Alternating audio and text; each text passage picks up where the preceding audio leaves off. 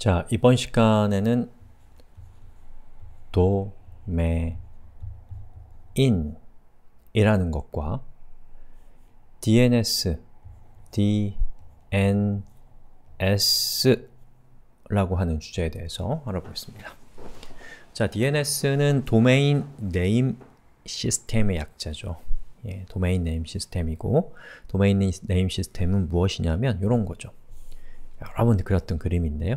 자, 여러분의 컴퓨터가 이렇게 있습니다. 짠! 제가 그림은 잘 못 그려요.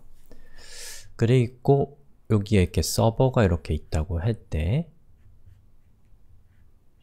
자, 이 서버에 접속을 한다. 그럴 때 이 서버의 주소가 예를 들면 google.com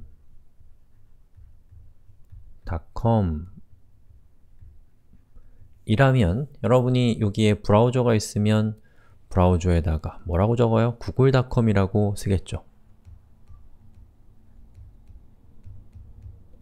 그리고 엔터를 땅 치면 실제로 google.com으로 접속이 이루어지나요?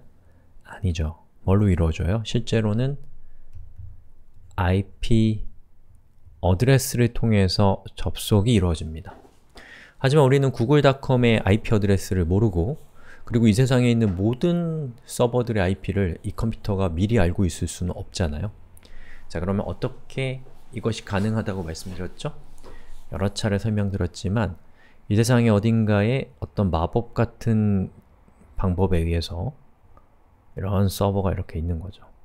예, 그리고 그 서버는 어떻게 이름이 붙여져 있냐면 DNS, Domain Name 서버라고 하는 이름을 가지고 있는 서버가 이 세상 어딘가에 있습니다. 그리고 우리의 컴퓨터는 기본적으로 이 domain name 서버의 IP가 무엇인지를 알고 있어요. 마법이에요. 어떻게 알게 됐는지는. 예. 나중에 알게 되면 기술이 되는 거죠.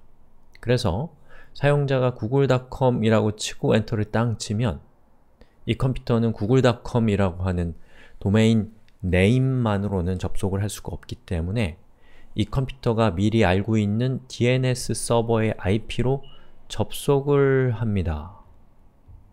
그리고 물어봐요. google.com의 IP 어드레스가 무엇이냐?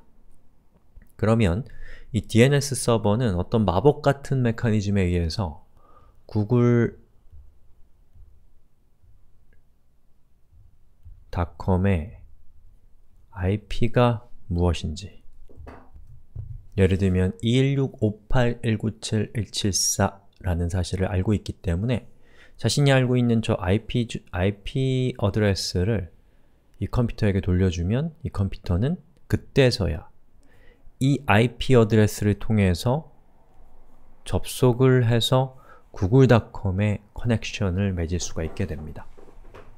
아시겠죠?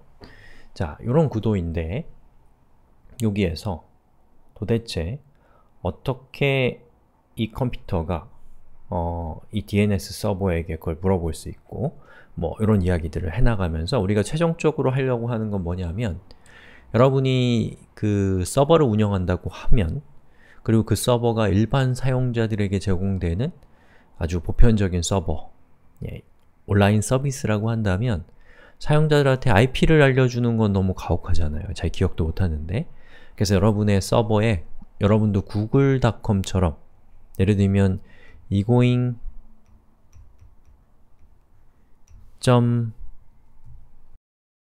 뭐 g a 뭐 이런 식으로 그럴듯한 도메인을 여러분의 서버에 부여해서 이 도메인의 IP egoing .ga로 누군가가 접속을 하면 이 서버의 IP가 무엇인지를 알려줘서 그 사람이 여러분이 갖고 있는 서버에 접속할 수 있게 해보자는 거예요. 그걸 하기 위해서는 여러분이 꽤 많은 지식이 필요합니다. 이번 시간에는 그런 얘기를 해볼 겁니다.